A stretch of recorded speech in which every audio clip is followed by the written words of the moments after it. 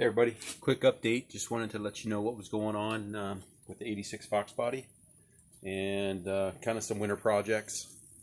But if you notice, uh, what we have different here is uh, we switched over. We're going to try out these uh, these ProMaxx um, cylinder heads.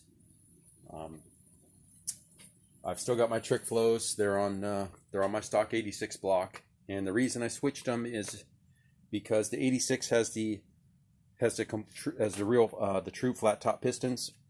So the trick flows with the with the uh, valves in a different position has enough clearance with these flat tops here. I've run them on this engine before and they were fine. So for those and then uh, we mocked up the ProMaxx. Um, we did mock up the ProMaxx and I measured uh, piston to valve clearance with these 86s and it was only like 30 thousandths.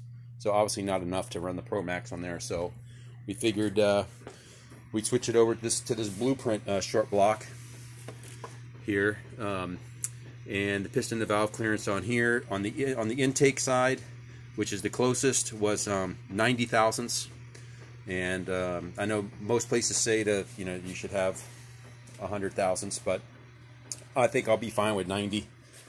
Um, the only thing where that's holding us up is one push rod. I did. I measured for push rods, and I ordered. I found a set on eBay, which you know, a set of uh, chromoly push rods is like you know over a hundred bucks. So I found a, a, used set in the um, 6.45s is what I is what I need for this, and I found a used set on eBay of Manley push rods. They're they're good push rods. They're like $120 push rods. But anyway, ordered a set. Um, and it only came with 15 in the set. So the guy um, was really cool. Wilson Motorsports. He was really cool. Um, he said he'd check in his garage, see if he had the other one. His advertisement did state uh, for 16, but um, he only had 15. So anyway, he refunded my money, but I actually told him um, I'll give you, you know, I ended up paying um, $50 with shipping for the whole set of push rods.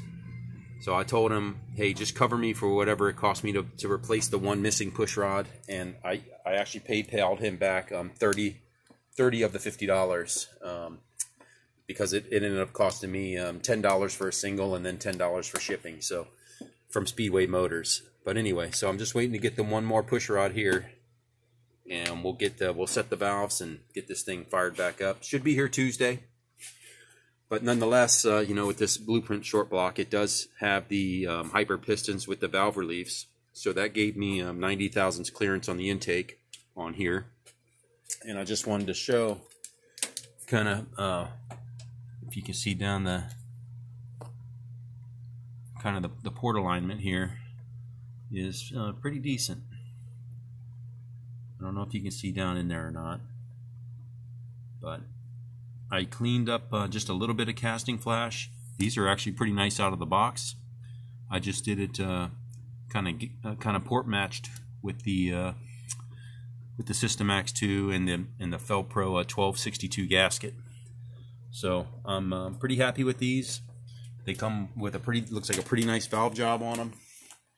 Pretty quality stuff. Uh, these springs are supposed to be good to 600 lift. So we're going to give these a shot and see if we can do um, a little bit better than our 1155 at the next test and tune, which um, I'll be going to in Sacramento Raceway, will be uh, January 16th. They do have New Year's drags, but you got to pay for the whole weekend, and I just want to do the test and tune for now, so we get dialed in here.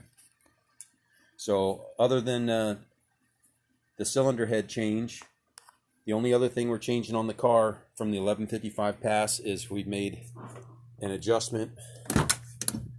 Looking at our data logs, we made an adjustment to the clutch tamer. I sent the data log over with my RPMs and how the car reacted on the shifts to um, Grant that makes these clutch tamers. And he suggested I needed two more turns um, on the inside on the inside knob there. Um, he, he said the clutch was slip, slipping too much, which it was kind of obvious on the graph. So anyway, we'll see uh, what that does there. And then obviously we're trying the new cylinder heads. I'll have an update on that on January 16th. And then we'll be getting this guy together here. Now again, this is the original 86 that um, I refreshed with um, new bearings, cam bearings. It still has my, my previous uh, shorter duration um, Ed Curtis cam. Um, it does have the flat top pistons and I flipped I flipped the cylinders um, I flipped the piston banks like uh, Neo Mustangs uh, does. So you can take advantage of the offset in the pistons. So cylinders 1 through 4 are on this side and 5 through 8 are, are flipped on this side. So we got that and we'll go ahead and get this buttoned up. We will be running the uh, and I'll have that ready here soon but we'll be running the uh, ported Explorer intake on that. So the same porter that did the trick flow heads, uh, Big Dog's porting. So those two should match up pretty well. And we'll run that combination. And the goal on that is we'll see what this does. And we're going to run this until we max it out. And then I'm going to pull this and I want to go stroker with this uh, block here. Probably a 347. So that'll give me uh, some time to save up for the stroker kit. And we'll pull this one out. We'll put this one in so we don't really have any downtime. And we'll run with that. So I've got two things to work with and then we'll have a, uh, we'll keep one uh, stock bottom ended one and then we'll have a stroker to work with.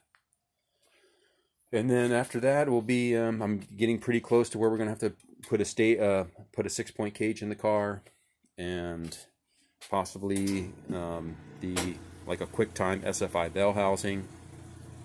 And I think there was one other safety item. Um, I'm gonna have to get this spring I'll probably switch over from um, I'll switch I'll put a spool in the back. And then when I do that um, see if we can put C-clip eliminators on there. And I think I'll be covered and uh, safety wise I'll be covered up to uh, running nine seconds and other than that, the only other thing we've got in the mail was I did get, uh, Tech asked me for, um, to get a jacket. So I went ahead and got a SFI jacket, again off eBay for like 30 some bucks. And it's it fits just fine. So we got to got to start looking at some of the safety stuff now. But anyway, that's the update. I'm waiting for the one push rod. It should be here Tuesday, and then we can get this buttoned up. And then uh, we'll just continue working on this. I just got these just got these heads torqued down today. So I was thinking about going ahead and setting the valve lash on this, but obviously not in a huge rush. This is just a backup and we'll get it ready. Um, I do want to get, uh, I actually want to get some more of the, uh, I know I'm getting low on this right, the right stuff here.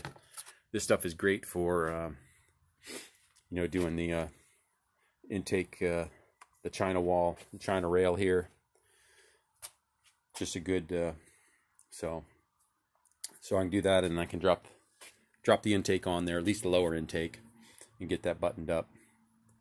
And uh, that's about it. So hopefully Tuesday that push rod will come in we'll get this thing back fired up before Christmas. All right everybody happy holidays